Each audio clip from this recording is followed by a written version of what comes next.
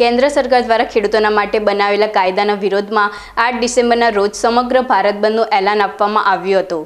જેને લઈને બનાસકાંઠા જિલ્લામાં એકસો ને ધારા લગાવી સમગ્ર જગ્યાએ ચુસ્ત પોલીસ બંદોબસ્ત ગોઠવવામાં આવ્યો હતો.